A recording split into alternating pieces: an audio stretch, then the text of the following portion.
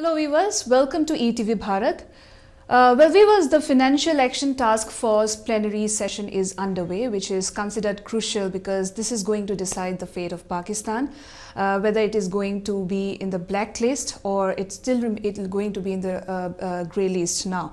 So uh, because uh, despite several attempts by FATF and other international community, you know, it has it has somehow um, asked Pakistan time and again to to stop its nefarious design of terrorist activities. But despite several attempts, uh, Pakistan has failed to comply to all the 27 uh, action plans of FATF.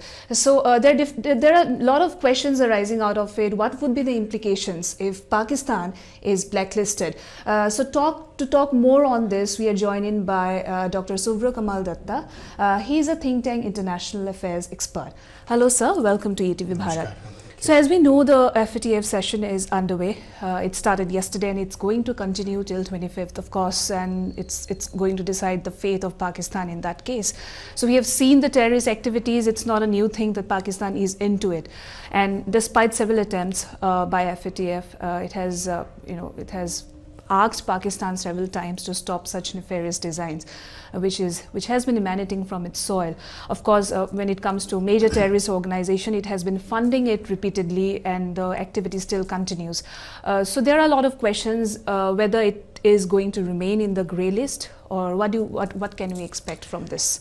See, I think uh, it is time for the FATF to take a call and uh, ultimate call on Pakistan because FATF has been uh, warning Pakistan a lot now and it's almost two years now that this yes. warning has been going on that you need to uh, you know take cognizance of the issues related to the international community especially on the issues of narco terrorism narcotics as well as terrorism as such. And pakistan has been doing only lip service on all this whether it is on Hafiz uh, Saeed and anyone else you know like I mean uh, it it just does in lip service and after that everything is back to the uh, you know uh, course as such the original course so I think uh, uh, like I mean almost around two years that Pakistan has been kept in the grey list and nothing has happened significantly on ground at the ground level as such and Pakistan whenever it is being cornered it just says that oh we are taking so many right. actions on so many terror groups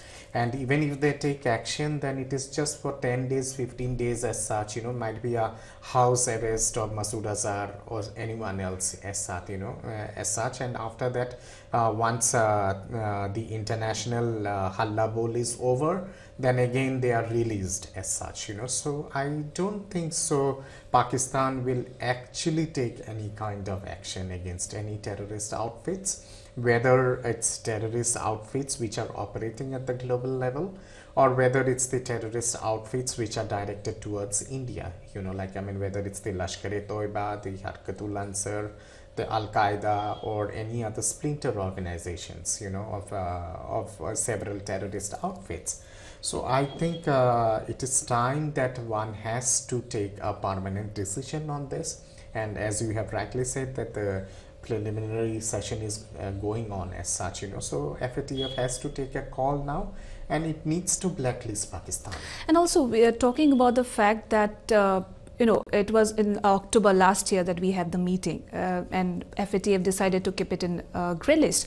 And now, what can we expect from the FATF? Because there is this China factor, which is also kind of uh, uh, uh kind of a, a, matter of question, of course, because China has been uh, supporting Pakistan in this matter, of course, and of probably pushing FATF to not consider Pakistan to be in grey list or like you know.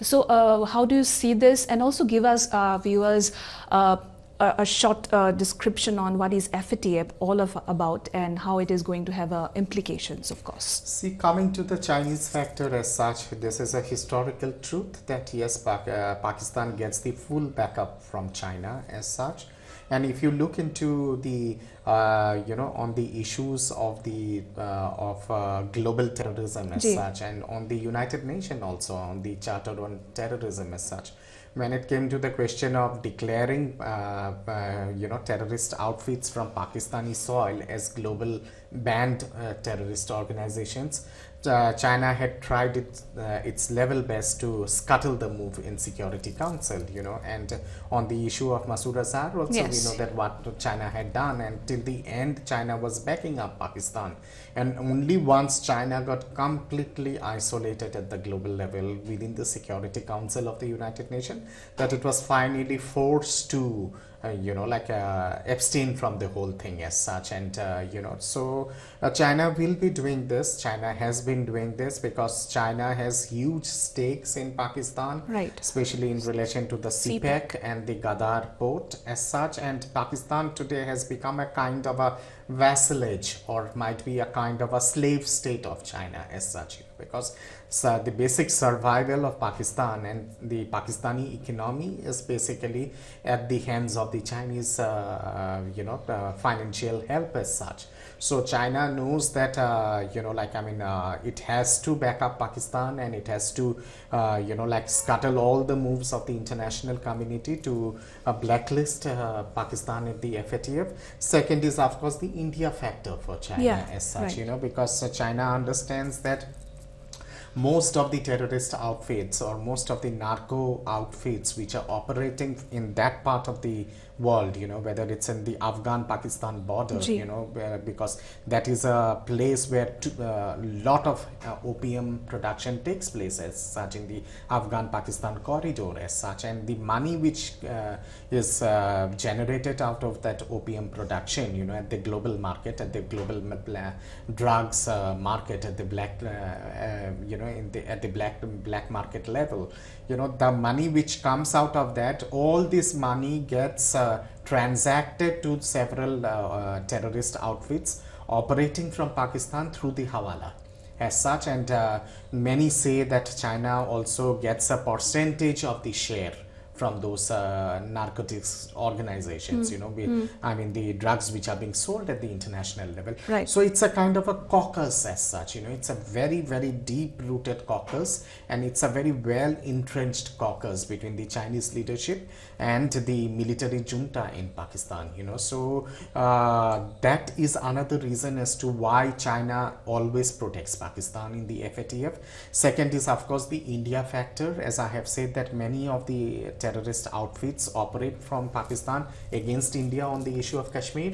And uh, several of the uh, drug organizations they also pump in money through the Hawala for all those sleeper cells which are within India of the ISI and all of the terrorist outfits to create havoc here in India. And China understands that if India is uh, not secure from the borders, you know, and if every now and then there is some simmering problem from across the border, then China will always uh, have the capacity of dominating the whole of Asia Pacific region as such, you know, and China knows that the biggest threat to its domination in the Asia Pacific region is from India as such you know India is an emerging global power now and the uh, uh, axis which has developed between India Japan then uh, you know South Korea Yeah. Southeast Asia and uh, United States of America you know Right. Australia and also that uh, mm, uh, axis which has developed that is a major major threat for Chinese hegemony as such you know so that's the reason like we see a kind of a nexus which is developing between uh, the, uh, between the narco outfits in afghanistan the terrorist organizations and the military junta in pakistan Ji. and the chinese military leadership you know so i expect that even in the fatf also like china would try its level best to scuttle the move to blacklist uh, Pakistan as such.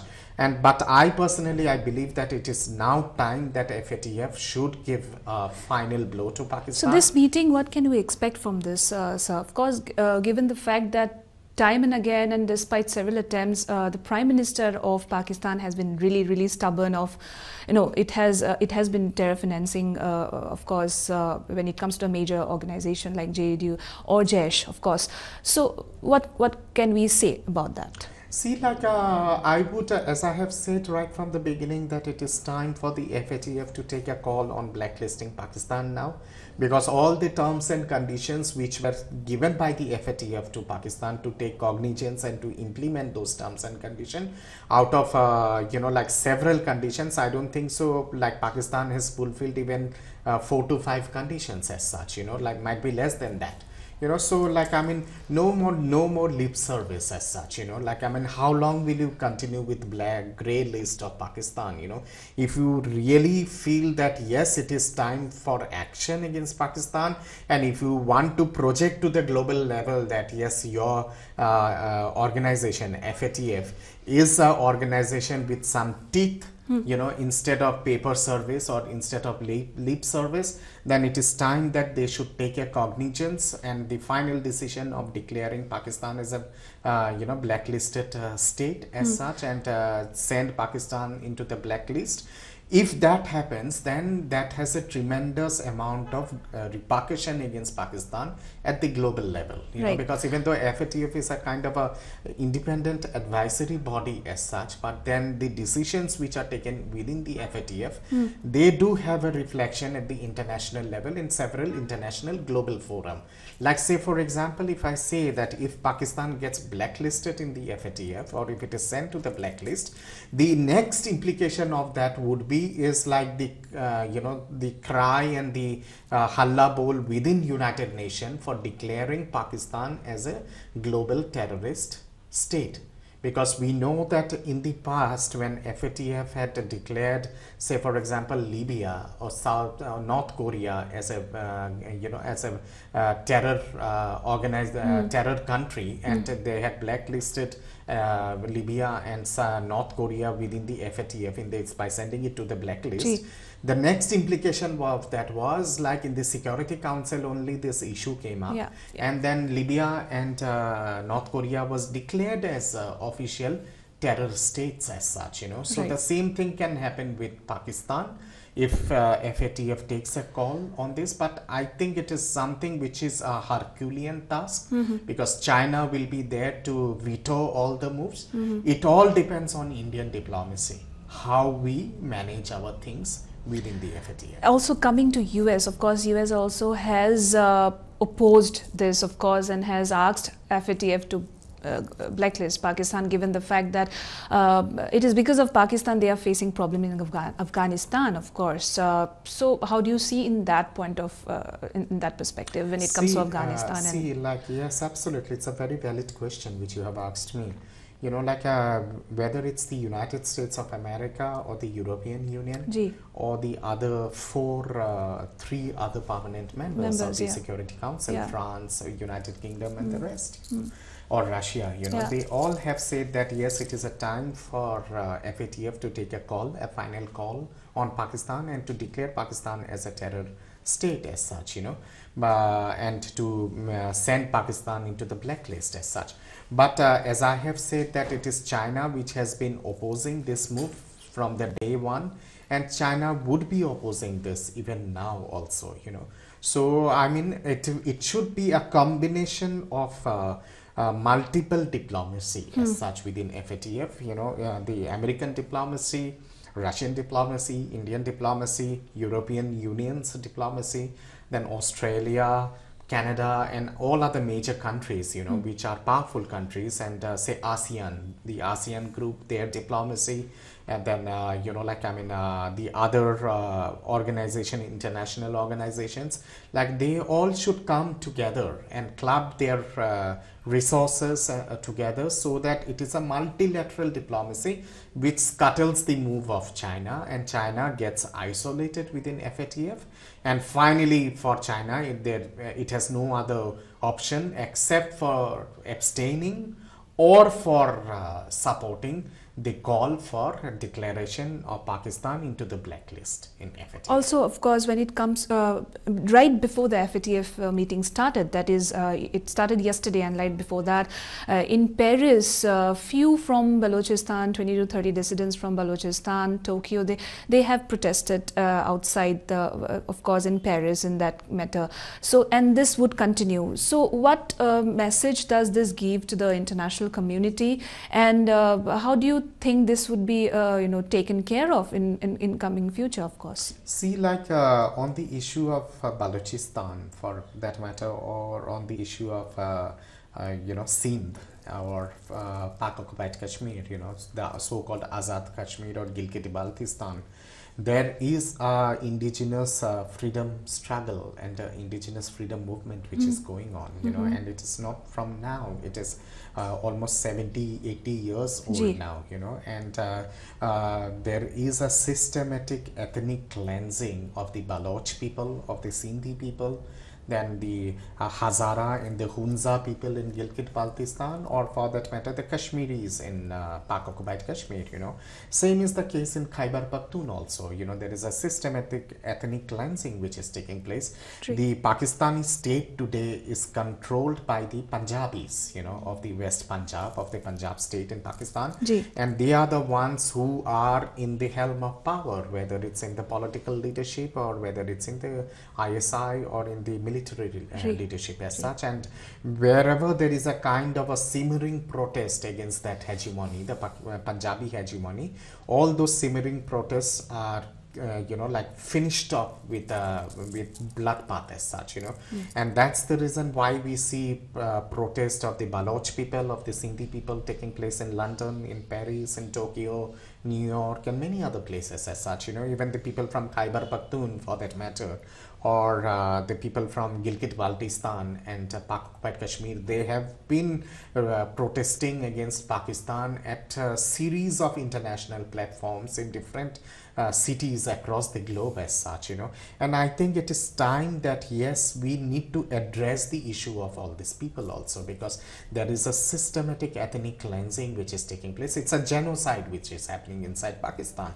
Like the way pakistan had done in uh, bangladesh in uh, the former east pakistan you know proper ethnic cleansing and genocide and then the liberation struggle took place and bangladesh came into formation you know. Same thing is happening in the, all these uh, provinces in pakistan. And Ji. i think uh, the international community cannot set aside this anymore you know. And we cannot uh, uh, negate this anymore or just keep a blind eye to it you know. And i think in that india should play a major role.